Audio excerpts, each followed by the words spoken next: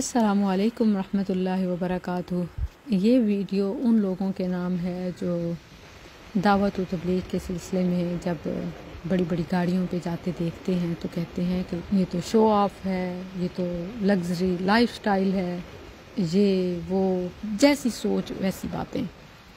तो अल्हम्दुलिल्लाह, मेरी दावत व तबलीग के सिलसिले में रक्षा मूवमेंट भी है। इसी तरह इवन टांगा रेड़ी मूवमेंट भी है और इसी तरह मतलब अल्हम्दुलिल्लाह मुझे इस बात पर खुशी है कि कोई जगह, कोई हिस्सा, कोई सवारी नहीं कि जिस पर सवार ना हुई हो और इस सफ़र को जारी ना रखा हो। और अब यहाँ बाबा जान के साथ एक ऐसी वीडियो भी है। और ये साथ साथ उन लोगों के लिए भी पैगाम है जो अपनी बच्चियों के लिए दीन दुनिया की उड़ान का ख्वाब देखते हैं। याद रखें, बेटियाँ तितलियाँ ही होती हैं।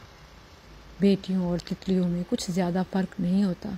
दोनों ही हर जानब रंग बिखेरती हैं। माँ बाप के आँगन में हों, उड़ती फिरती हैं और शादी के बाद ससुराल में रौनक बढ़ाती हैं। लेकिन अगर कोई इनके साथ ज़बरदस्ती करे, मसलने की कोशिश करे तो वो खुद खाली हाथ मलते रह जाते हैं और उन पकड़ने या मसलने वालों के हाथों में सिर्फ़ उनकी यादों का रंग ही रह जाता है। फिर खा वो तितलियाँ हों या लड़कियाँ हों। तभी तो कहते हैं, लड़कियों और तितलियों में ज़्यादा फ़र्क नहीं होता। दोनों को ही जायज़ उड़ान, प्यार, एहतियात और आज़ादी की ज़रूरत होती है। जहाँ सख्ती की, वहाँ ये उड़ती बनी। अबू हुरैरा रज़ी अल्लाह से मरवी मुतफ़ हदीस है। रसूलुल्लाह सल्लल्लाहु अलैहि वसल्लम ने फरमाया इस्तौसू बिन निसाई खैरा। औरतों के साथ हुसन सलूक करने में मेरी वसीजत कबूल करो। यानी औरतों के साथ हुसन सलूक की वसीजत रसूल है। सल्लल्लाहु अलैहि वसल्लम, यानी देखिए कितनी ताकीदी बात है कि इसी हुसन सलूक में ही खैर है। इस्तौसू बिन निसाई खैरा। सख्ती में खैर नहीं है, ख़ास तौर पर औरतों के साथ। औरतों के साथ ख़ास तौर पर नरमी में खैर है। इस्तौसू बिन निसाई खैरा। औरतों के साथ अच्छा सलूक करना। ऐसे तितली को परवाह नहीं होती। ऐसे उड़ान भरती है और बाज़ात मसली भी जाती है। इसी तरह औरत भी नफ़ा नुकसान की परवाह किए बगैर अपनी जायज़ उड़ान को अपना हक समझती है।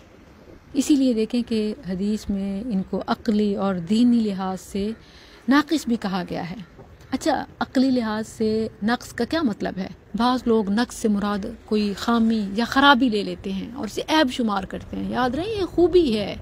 औरतों का अकली लिहाज से नुकसान और कमी ये है कि मर्द की एक शहादत के मुकाबले में औरत की दो गवाहियाँ होती हैं और इसमें भी उनका प्रोटोकॉल है।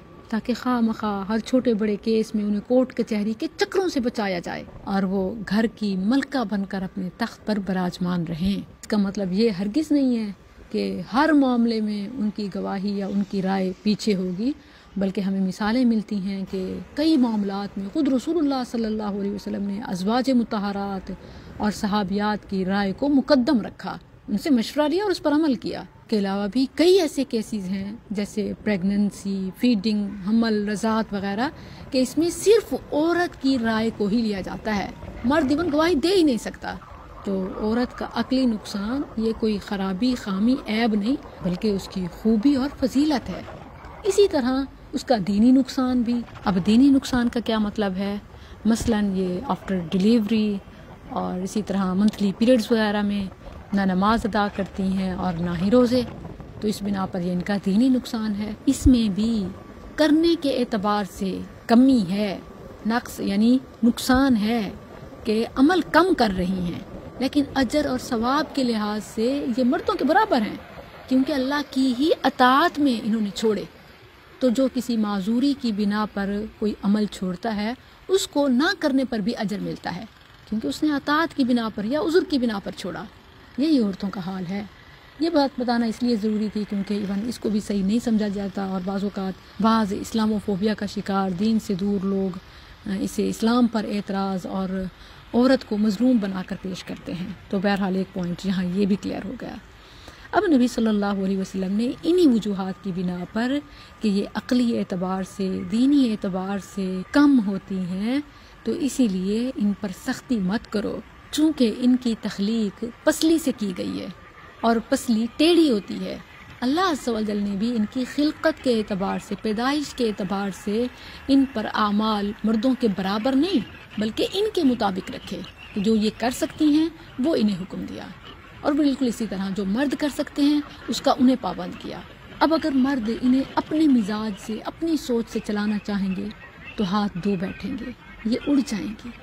लेकिन अगर वो इन्हें, इनके हिसाब से, इनकी नफसियात से, इनके मिजाज से चलाएँगे, नरमी और हसन सलूक से मामला को बढ़ाएँगे तो यकीनन इनके रंगों से